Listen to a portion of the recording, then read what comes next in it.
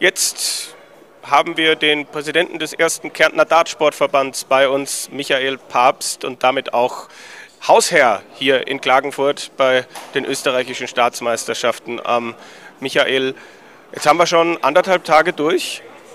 Zufrieden, wie das hier insgesamt die Veranstaltung bislang abgelaufen ist? Danke, ja. Also mich freut es, dass die Staatsmeisterschaften erstmalig in Kärnten stattfinden. Die Besucherzahlen sind natürlich schön. Ja, die Bewerbe sind super. Schauen wir, was der dritte Tag heute noch, dritte und letzte Tag bringen wird. Wenn man so ein Turnier ausrichtet, wenn man es durchführt, was würdest du sagen? Was sind die größten Herausforderungen? Worauf kommt es an, dass man hier eine gelungene, eine gelungene Veranstaltung durchführen kann? Also die Herausforderungen sind natürlich in erster Linie einmal die geeigneten Hallen zu finden was immer schwieriger wird. Und natürlich, was das Wichtigste an allen ist, sind die Spieler und Spielerinnen. Kommen die nicht, ist es keine gelungene Veranstaltung. Ja. Und jetzt habe ich gehört, du hast auch eine weitere Aufgabe ähm, im Bereich der, der Übungsleiter.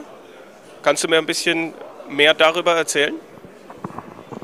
Also man hat mich auserkoren, die Übungsleiterausbildung zu übernehmen. Mhm. Das ist eine sehr ehrenvolle Aufgabe. Ja. Wir haben heuer in Kärnten den zweiten Kurs gehabt. Aktuell ist in Wien der erste Übungsleiterkurs. Es ist natürlich wichtig, so wie in jeder Sportart, man fängt klein an, wir brauchen Übungsleiter, diese zu transportieren in die Vereine und damit wir in die breite Masse gehen, dass wir vielleicht in zwei Jahren in die nächste Stufe fortschreiten können.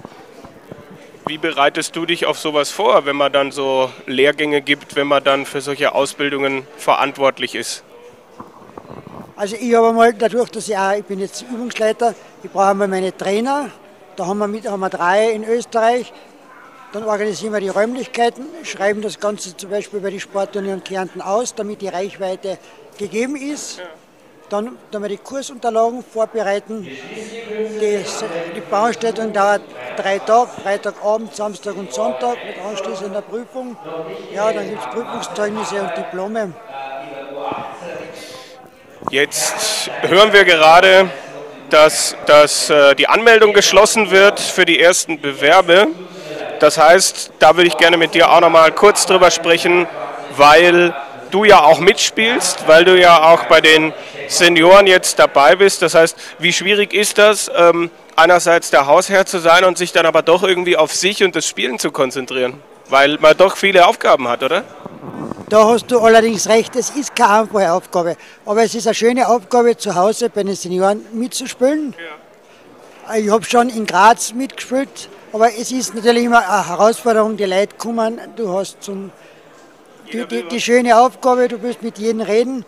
Aber dann hoffen wir mal, natürlich haben wir schöne Persönlichkeiten in dem Seniorenbereich mittlerweile auch da.